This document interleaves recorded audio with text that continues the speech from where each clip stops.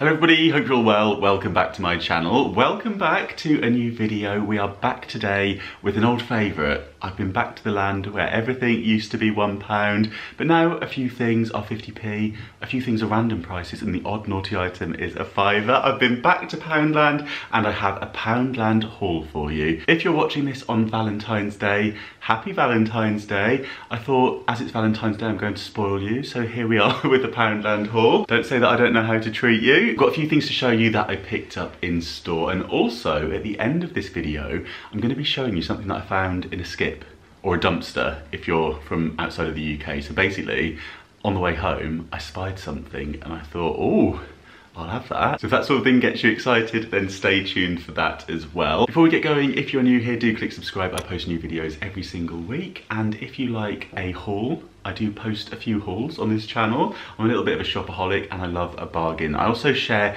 anything that I've spied in shops that I think you'll like, especially things that are in the sale or anything that's really good value over on my Instagram, which is Mr. Carrington or Mr. Carrington Home.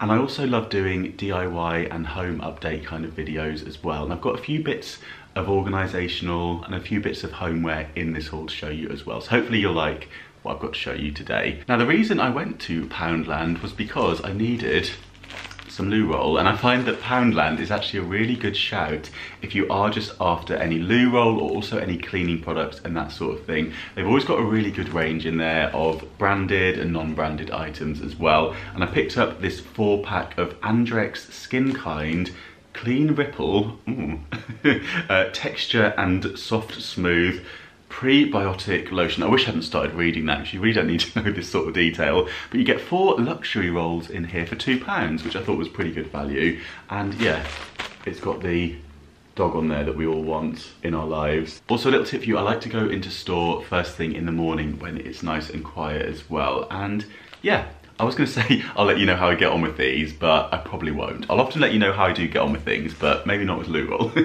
you don't need to know that sort of thing. But I also got some hand wash while I was in store. So I picked up this one, which I've never seen before, and it is the Totally Tangy Tangerine Hand Wash. And this, again, if you've watched previous Poundland hauls of mine, you'll notice that I've picked up a few things that I thought looked rather similar to Lush. I think they're kind of going there with the font on here, aren't they, in the design of the packaging. It looks like something you'd pick up in Lush or maybe in the body shop as well. It's giving me that kind of feel with this. So let's give it a little sniff and I'll let you know what I think because that sort of thing is important.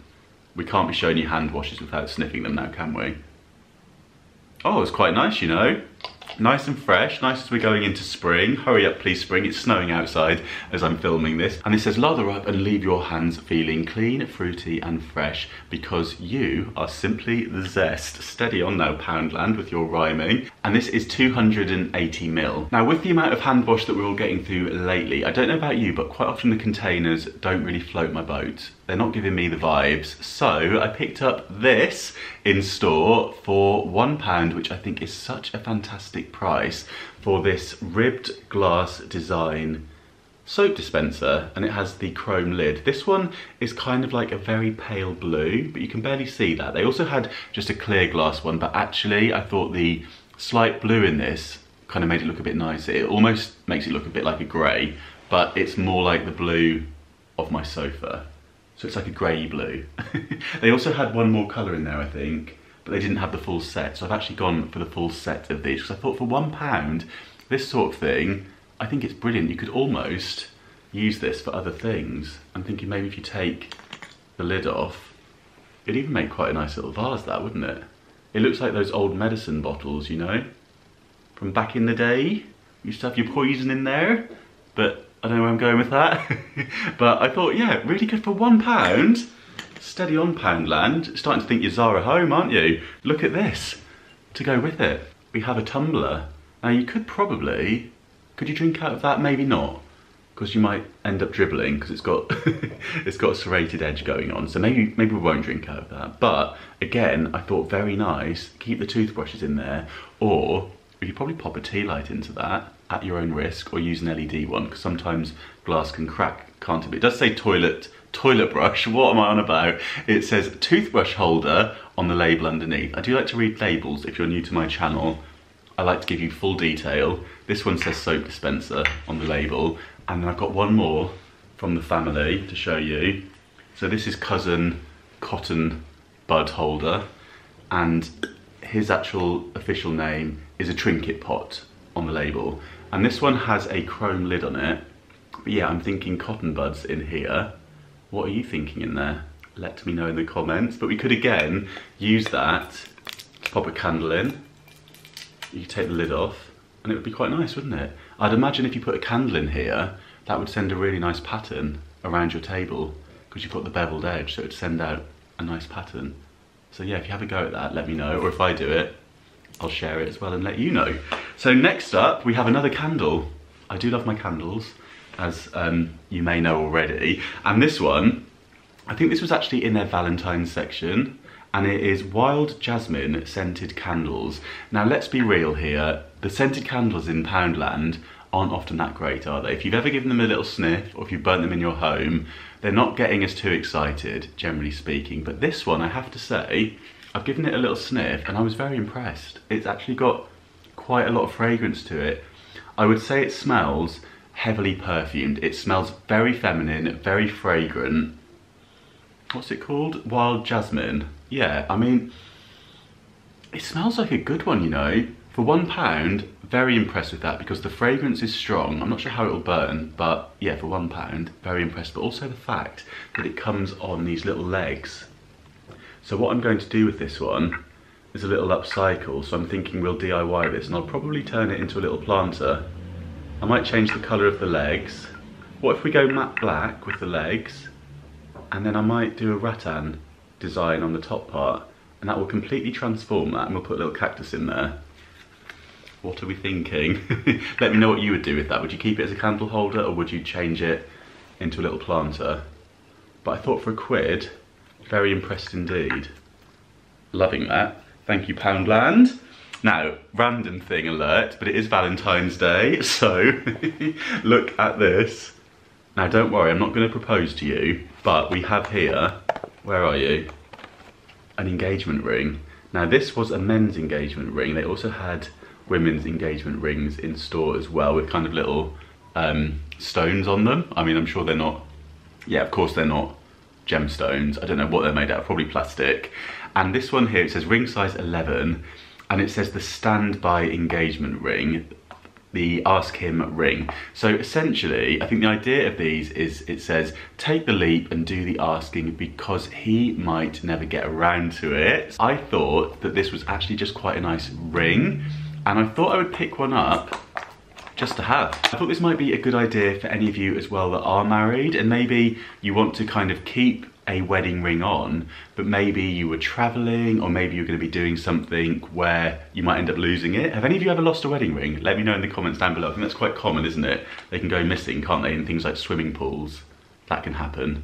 And I don't know, maybe it's gone down the sink down the toilet. Let me know if you have ever lost a wedding ring or an engagement ring or something precious like that and did it turn up again. But yeah, I thought if you just wanted to wear one, but then you wanted to not wear your actual one, one of these could be really handy. So yeah, uh, if you need a ring in your life, I feel like we're gonna burst into Beyonce in a minute, um, then this could be a good shout to you. So yeah, I'm just gonna pop that in with my other bits of jewellery. But you know what, I'll probably just wear that. Quite nice, wear it on that hand, can't I?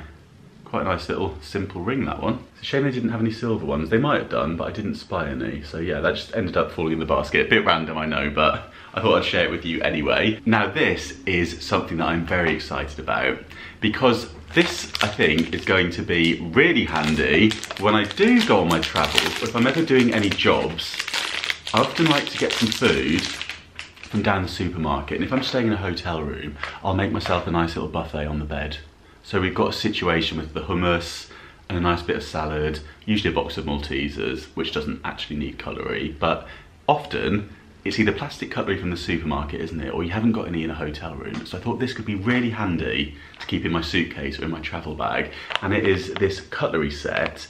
So they only had pink in store, which I probably wouldn't have chosen, but it doesn't offend me, so here we are with the pink set. But if they do have other colours, I might pick myself up a different colour and give this one to my sister because it wouldn't be my first choice but as I say I mean it's cutlery isn't it? So it doesn't really matter. But it's a three piece it says swanky dining stuff cutlery set. And in this little container we have the knife the fork and the spoon which I just thought would be so handy to keep with me at all times in my bag. I did a what's in my bag recently in a vlog in case you're interested in seeing what I do take around with me when I go anywhere.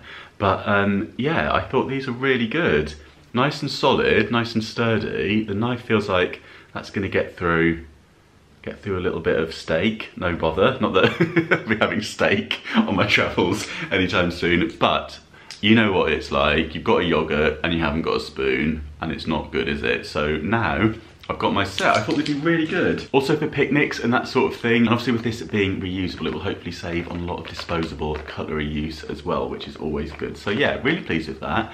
And hopefully um, they'll have some different colours in store as well. But for one pound, very impressed indeed. Now, as you might be watching this on Valentine's Day, I thought I'd get something that's gonna get us all going a little bit. I've got some plastic storage for the fridge. So this one is one pound for the two, which again, I think is incredible value. And I've got a few of these in my fridge and I love putting these in the fridge to get everything organized. I feel like you can fit in a lot more when you can slide it out, if that makes sense. So you can put different things into each one I keep all lemons in this one actually. Lemons and limes go into there. But I've also got another one of these that's quite good for any small little pots. So you can put your little mustards or any little sauces in here as well. And then this size is quite good for things in packets like cheeses, meats, um, fish or meats and things like that. You can categorize them all, label them up. There's a little piece at the front here which would be big enough to put your label on. Or you could label it underneath here. You could do either or. But yeah, I think really good value if you're looking to get your fridge a little bit organized. You could also use these in your cupboards as well, but they might be a little bit too deep for cupboards, so do check the sizing of these. I thought really good when you get two like that, and as I said, I've got a few in my fridge and they have helped it get really organized. And the fact that you can slide it out and then just see what you've got in different categories in your fridge very handy indeed. Then I also got a couple more uh, storage things for the fridge and it's these wine bottle organizers. So you could also use this for all sorts of different things I'm thinking. So they are stackable. So you can, with these, get more wine in your fridge, which for two pounds, I think is money well spent. You can slide them in this way, but also you could put other things into these. And I thought you could also use them to organize maybe craft supplies or things if you've got like a tool shed as well. I was thinking a few of these stacked up would be quite nice to pop tools in. So I'm thinking pliers, spanners, hammers, there we are, that sort of thing. Do you get me? Or on your desk even. So we've got options with these. But again, for one pound each, I thought pretty good value.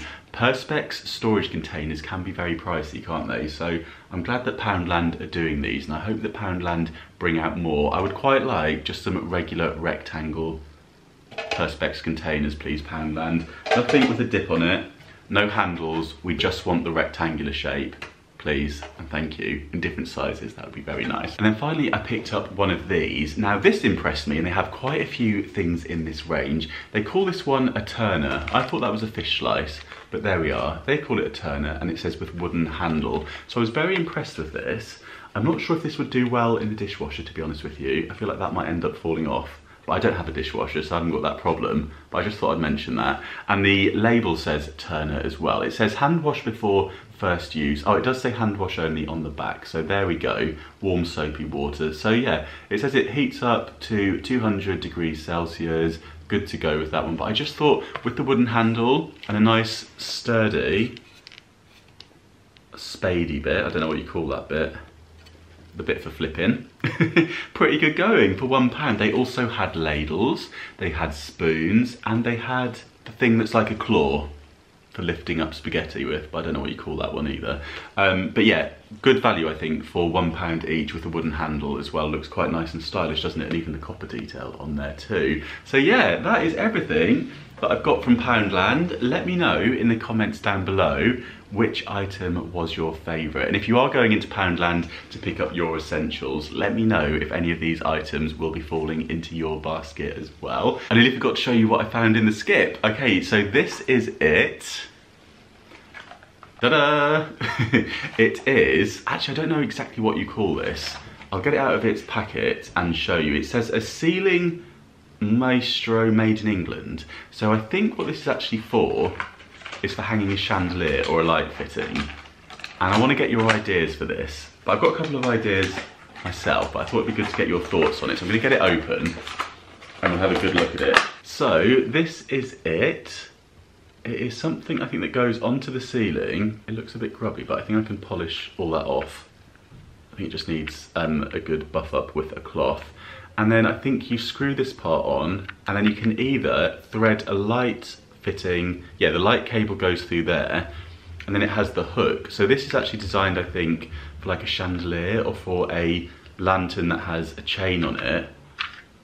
But I thought that looked quite cool. But I might not do that with it. I might just use it for something else, like hanging something. I was thinking maybe I could screw this onto the ceiling and just use it for hanging like a macrame planter or something like that. So yeah, what do we think? I could even spray it a different colour.